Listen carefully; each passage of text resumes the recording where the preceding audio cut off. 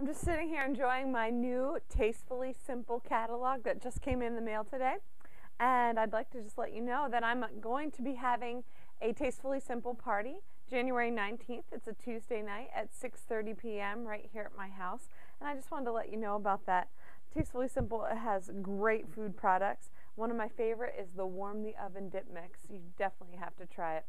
So mark your calendars January 19th, uh, Tuesday night at 6:30 p.m. Hope you'll be able to join us.